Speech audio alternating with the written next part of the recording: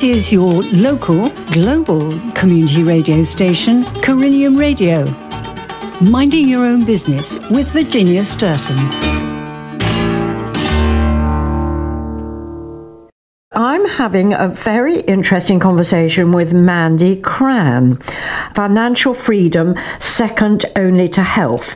She has some fabulous products called Forever Living Products. She has people also selling this and she helps them to be successful in their business with this product.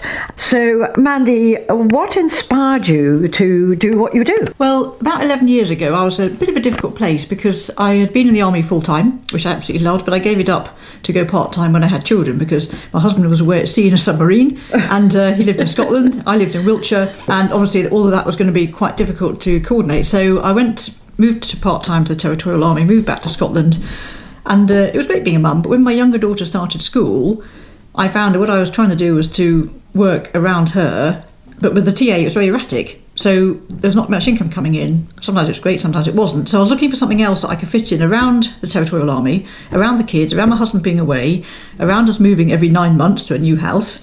And so I needed that extra income coming in to sort of support it, but it had to be really, really flexible. And so uh, that's why I joined Forever 11 years ago. And so, therefore, why do I do what I do now? Well, I want to help women who are in a similar position. So, those career women who've had a family, gone back to work, you know, they really want the career, they want the good income, and they want everything that goes with it, but actually are finding it increasingly hard to juggle mm. children, childcare, commuting, yeah. mm. children being sick off school, mm. you know, partner working, and all of that. And it's really hard. I've been there. Yes. It's really stressful. So the more that I can help women in a similar situation to me to have more quality time with their family, that's really why I do it. That's why you do it. Now I've got a got a brochure which mm. is this forever living products, mm. and they are fantastic. I have been trying some of them, and I have to say they are absolutely excellent. So, how did you come across these forever living products? Well, when I was looking for something to do to earn an extra income, as I just explained, um, I happened by chance to meet somebody who said, "Why don't you look at what I do?" And we sat down, and had a cup of coffee, and she showed me the products, and Instantly, my elder daughter had been ill for about three years at that point. She was, for her, it was too painful to eat, so she stopped eating. She was only five when it oh, started. Oh, no. And I tried everything. The doctors, various people, nobody really could help at all. And so I said to Hassani, said, well, would one of these help my daughter? I said, well, I don't know, give it a go, just try. Four months later, I had a completely changed child. She's now at university doing fabulous. So that's what really gave me belief in the products yes. um, and what they could actually do for people. And in terms of how it works, well, aloe vera is a very interesting plant because it's been used for healing for about four and a half thousand years. Mm. It's mentioned in the Bible. And what it does, it acts like a storehouse of nutrients. Now, the body can get ill very quickly through just a deficiency, a very small deficiency in maybe one or two tiny things. So, if you can restore that nutrient back into the body, the body can then heal itself. Aloe is about 200 nutrients. The body will take from it what it needs rebalances the body, and often that can sort things out. And the two areas that it works particularly well on is first to the immune system, so it'll balance and normalise the immune system. And of course, if you've got a good immune system, you're not going to get ill in the first no. place. And also on the skin, which is also includes the digestive system. And again, if you can get your digestion working normally, that's where your immune system sits mainly. About 70% of your immune system is actually in your digestion.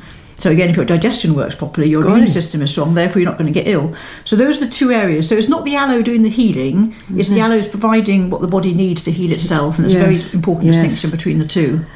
So we start with that as the first ingredient in all our products, and we have a huge range. We have health type products for everyday for skincare, weight management, sports, fitness essential oils, animal, home. Because yes. animals don't know what they've been given. So. No. Now, who actually uh, started this product? Where uh, is it manufactured in the UK or does it come no, from America? It was started by a gentleman called Rex Maughan about 40 years ago in the United States, and he'd had a very serious stomach condition which nobody could cure. Yeah. And he'd heard about aloe. He did some research. He was an entrepreneur anyway, and he decided to start a business. And his his reason for doing so was he thought there's so many people in the world who have so much potential in them, but they're stopped from being great either because they come from a poor family, or they haven't got the right education, or they haven't got the right money to get started, or they haven't got the right skills. And he wanted to start a company which would enable anybody, if they had the right attitude, and that's very important, yes, yes. to be successful. And that's why the startup costs are so low, why all the training is provided. And it's all about encouraging people to be successful and rewarding you for helping others. So, but you also look after a group of people selling this product. Yes, I Have do, I, got yes, that right, haven't yes, I? yeah. So, uh, you are now talking about a bit of a training course. Do you give that training or does that come from the head office, so to Well, speak? it's a mixture. What happens is that when I sit down and plan somebody's business, I will decide from what they've told me what they need. So in some cases, it will be go and do this training at head office. In other cases, it might be actually I can sit down with them and give them the support they need because everybody is different. Everybody has different skills. They've got different confidence levels, and so it's about me plugging them into the right bit or me doing that bit yes. for them. So every person is different, and every business plan will be Yes. different. So you Yeah. really, you probably look at somebody and say, "There's your potential," Mm. and then you help them bring that out, don't you? How many people are you looking after? I have quite a big team. I have a, a policy that I only train five people at any one time because if I'm going to do this properly, it takes a lot of time and effort, and they've got to make sure they get the best from me as well. So Yes. I train five people, and then when they're sort of confident that they can do it pretty much by themselves, Right. then I'll start with somebody else. Somebody else, So yeah. Mm. I'm always working with five anyway. How far away from you are these people? Just in Gloucestershire? No, or- no. Um, a few places over the UK, but I've also got somebody in Belgium, um, and I've got a retail base in Australia and Canada as well. Oh, that's fa- fantastic. Yeah, So we've mentioned how it sort of benefits. So actually taking that step was how long ago did you take it? Um, Eleven years ago. So what's been your greatest reward? Well, there's been many uh, ones over the years. When I was thinking about this beforehand, I think the one that really stands out in my mind, apart from my daughter, was one of my very, very early customers. About my third customer I ever had. I didn't know much at all at that stage. and uh, this lady like was it. about 65. She was absolutely minute. She weighed about six and a half stone. Gosh. And she had a very bad digestive condition, which meant she couldn't leave the house. And she'd had it for about 40 years. She was on two drugs every day. And if you wanted to leave the house, you had to take a third drug. So you can imagine that her life was, was really not worth, worth living. Anyway, we had a chat at a fair, a local um, village fair that I was doing. And she started taking the aloe vera. And I, um, I had no idea. This was so new to me. I had no idea what's going to happen at all, really. But after about four months, I was absolutely stunned because she was off all the drugs. That's amazing, isn't it she it? could actually leave the house and have a normal life. I was like, Golly, wow, wow, that is good. And so my belief yes. as Yes. a result of that was absolutely Yes, concrete. yes, and uh, yes. since. Challenges. Has there been a challenge or two? I think the general challenge is that one of the best things about network marketing, which the industry that I'm in, is that there's no selection criteria. Right. So anybody who wants to get started, has got a little bit of money to invest in a box, uh, maybe £100, they can invest and get started in a business. But one of the worst things about network marketing is there's no selection criteria. Anybody with £100 or so can get started, buy a box, start a business. And therefore you have all sorts of people, from the people who see the numbers and think they can be a millionaire for doing nothing in six months, Ooh, yes. to those who Oh. actually understand that building a business takes time and Yes. application and Yes, dedication, as you were does. saying, you know, sort Yes. of two to three years of Definitely. consistent effort. And so, as an army officer, I'm told to do something, I get on to do it even if I Mm. don't want to. So my perception was everybody else would be like that too. And of course they're not. Not, no.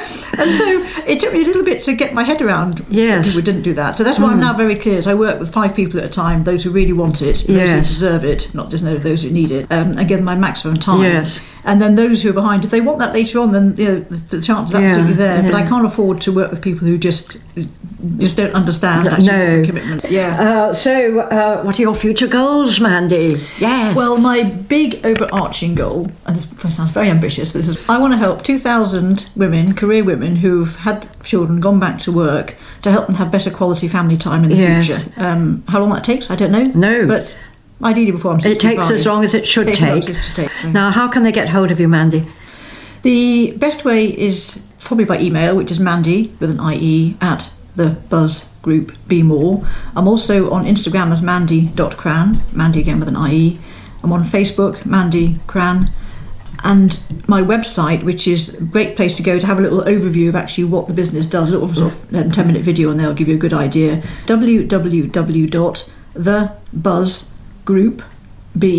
www.thebuzzgroupbmore.co.uk. That's great. What's the, the name, the Buzz Group? Your idea? Yes, Yes, yes, I like team. that. Yeah. Yes, uh, that's a good name. Well, Yes. it's interesting. You see, we have obviously aloe vera is our main product, but actually Yes. we also are the world's biggest owner of bees. oh, So we have yes, lots of beehive clever. products, and yes. my father had bees. I grew up with bees. Oh, did you? No, and so I thought it. the Buzz Group just it suits Yes, absolutely right. Yes, Yeah. it's funny how these names come into your head and then they, you know, they're right. Yeah. Lovely talking to you. My Best pleasure. of luck. It was really great. Thank, Thank you. you.